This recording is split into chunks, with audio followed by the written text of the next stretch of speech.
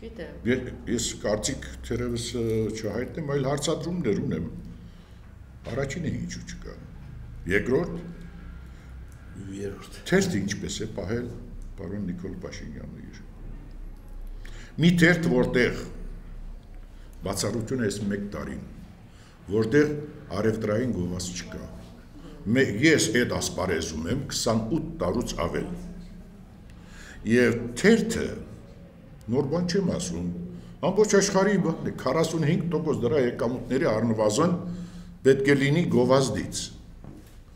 Դուք բացեք հայկական ժամանակ օրաթերթի էջերը։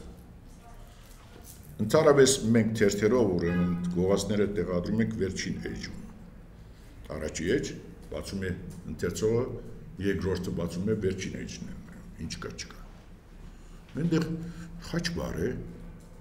եւ ուրիշ ոչինչ։ Ոչ մի գովազդի չեք հանդիպ, այ ինչպես գոյատևեց։ Ինչպես է գոյատևում։ Ի բացառյալ գրկում եմ այս վերջի շրջանում, որովհետև գիտեք, մեր արևտրականներ եւ այլն սիրում են իշխանության այսպես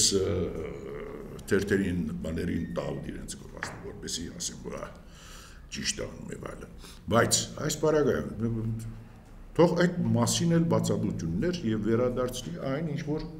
ստացել է այս կամ այն կերպ պատվերներով Այսինքն այսպեսի պնդմանը հակադարձում բազմաթիվ հակադարձումներ թող լիքը կարելի է նստել։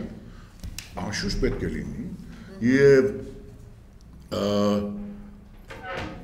մի հատ հաշվապահություն թող ունենա, որ երկրորդ եւ երրորդ նախագահները ինչ են ունեցել, թող ստեղծեն, թող այդպիսի բան կազմեն, նաեւ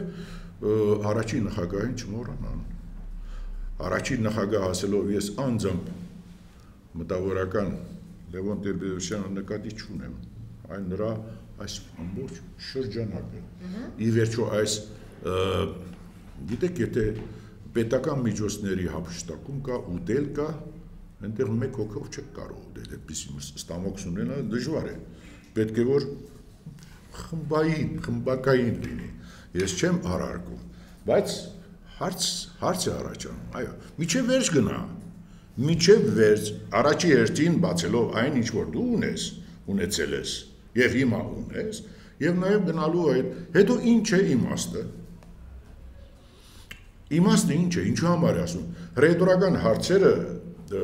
Նիկոլ Փաշինյանը շատ հաճախ է սիրում օգտագործել երևի պատասխանները գիտի, բայց ավելի լավ կլինի, որ հանգիստ մնանք եւ մենք տեսնենք պատասխանները ստանանք, հետո կտեսնենք Ասենք կբերենք այն եկեղեցիները, ովքեր կփորձեն քանդել մեր ոտքի տակ։ Եկեղեցականային այդ եկեղեցից դավադրություն կա, պարոն Ավետիքյան, տեսնում եք եկեղեցու կողմից դավադրական նպատակներ իշխանության հանդեպ։ Որոնց պիտի ծնկի բերի պարոն Փաշինյանը։ Դավադրական եկեղեցի մեր, տեսեք, մեր եկեղեցին ի սկզբանե եղել է պետականության հետ։ Եվ եթե որևէ մեկը չի հիշում, ես հիշեցնեմ, ակադանգեղոսը դրտատ երրորդի համար, որը ուրեմն եկեղեց ասաց, բուն հիմնադիրն է Էջմիածնի մայր տաճարի։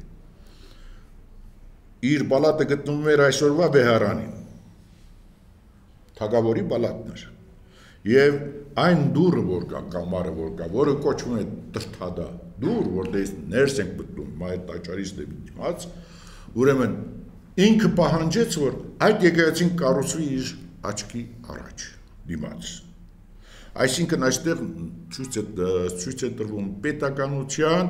եւ մեր եկեղեցու պետական եկեղեցի այո։ Ազգային եկեղեցի լինելով հանդերձ։ Եվ ահա մենք չենք կարող, որևէ մեկը չի կարող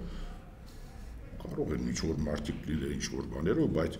ինձ որևէ ես մոտիկից եմ հետևում եկեղեցական կյանքին, բավական լավ գիտեմ եկեղեցին եւ չի կարող մեր եկեղեցին որևէ դավադրական էնել, որևէ քայլ կա։ Դավադիրներին պետք է իր շուրջը փնտրի։ Իր ամիջականների շրջանակի մեջ մեր եկեղեցին չի կարող նման բան անել։ Գուցե վերջին ուրեմն վեհարանի նոր այսպես վերակառուցված վեհարանի այցելությունից ինչ որ բաներ է ընդհանրել չգիտեմ Նիկոլ Փաշինյանը, բայց իդեպ ասեմ, որ բավական շատ ես այդ մասին գրեցի նաև, որ պետք եղածից ավել շքեղ է, ավելի շքեղ, այդքան շքեղ պետք չէր, ավելի զուստ պետք է մեր եկեղեցու համապատասխան։ Խոսքը վերաբերում է վեհարանին, վեհարանին։ Ես ասեմ մի քանի դիտողություններ, դիտարկումներ ունեմ